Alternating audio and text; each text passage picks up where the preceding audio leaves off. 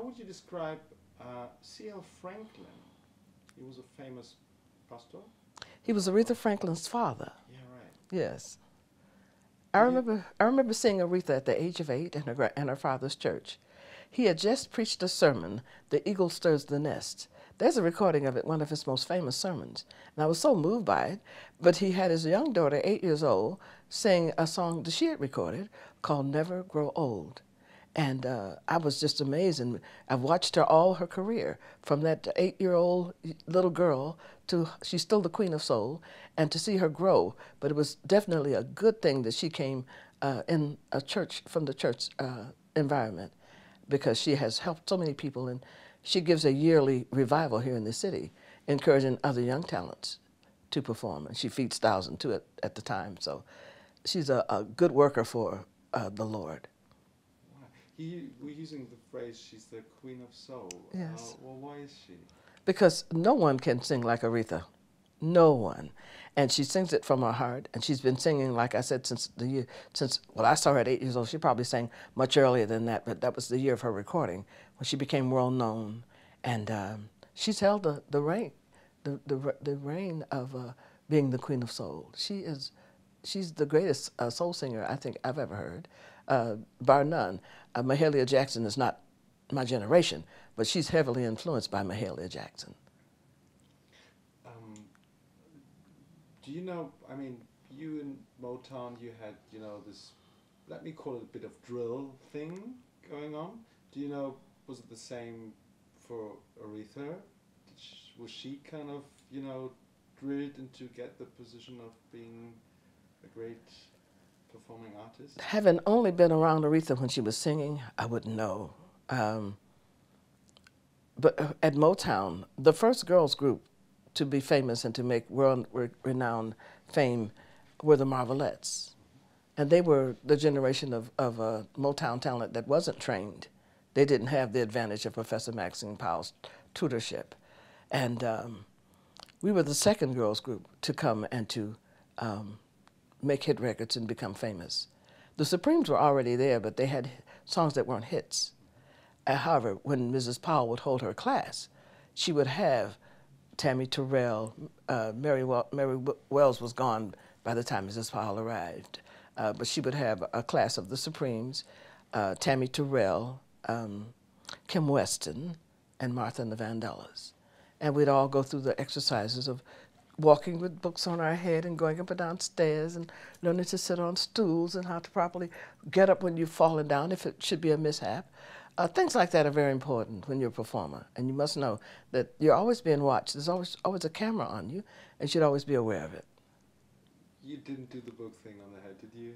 Ah, yes, I did. Yes, oh, we did. Really? And we walked up and down the stairs in high heel shoes. We got in and out of limousines. That was part of the training. She's very good at what she does. Wow. Yes. That's that's uh, okay.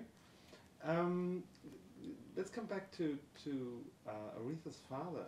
He's been very active in the civil rights movement, and he was a friend of Martin Luther King, as far as I know. Um, have you be, have you been involved in the movement? Motown music was a, was a movement. We got on the bus, a broken down trailway, not a Greyhound, but a broken down trailway with no toilet. We toured 94 one nighters, our first tour into areas that didn't have facilities for black and white. They had a colored section and a white section. We didn't make a movement, but we were people actually on tour who needed to eat. And we had, we, go, we had gone into restaurants where we were denied food. We refused to go into the, the, the, the uh, colored restrooms because they were just so nasty. Nobody cleaned them. And um, I remember having a shotgun in my face at one uh, gas station in Montgomery, Alabama, where we stopped just to use the facilities. And uh, when three of the gentlemen go, went inside to the uh, to speak to the gentleman who owned the uh, the gas station, they were ordered out of there, and the man came to the bus and ordered none of us to ever get off of that bus. He, the term he used was, uh, "Don't another one of you niggers get off of that bus." And I looked into the barrel of a double.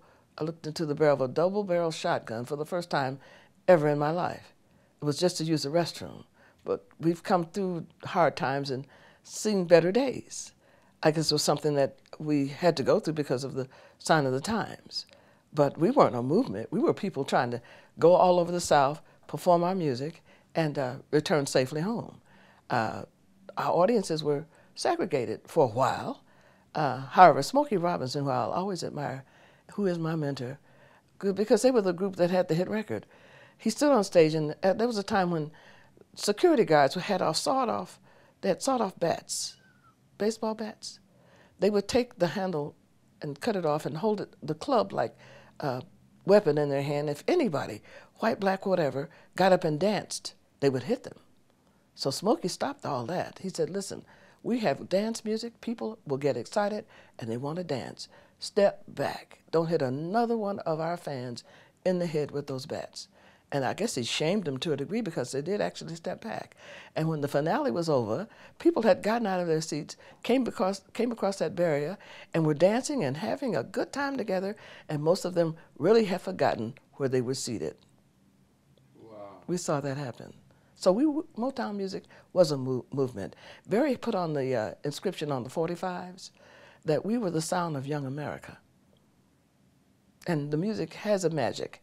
I feel as young as I did when I sang Heat Wave, Jimmy Mack, Nowhere to Run, Dancing in the Street, as, and the music celebrating 50 years. So yes, it is a movement and the sound of young America, keeping all of us young. Right, right. Um, you and Aretha both started a successful pop star career in the 60s, uh, a special time in history. Um, you've both been young, female, and black. Uh, and how far did you struggle with it? Do you have another? I have um, been blessed by having parents who never taught me hatred or prejudice, and I've never been in any way biased we all, uh, being Christian and from the church, knew to love one another, be of a servitude um, nature. I've always wanted to make people happy. I've always wanted to please people with the talent that God gave. So I've never had a struggle.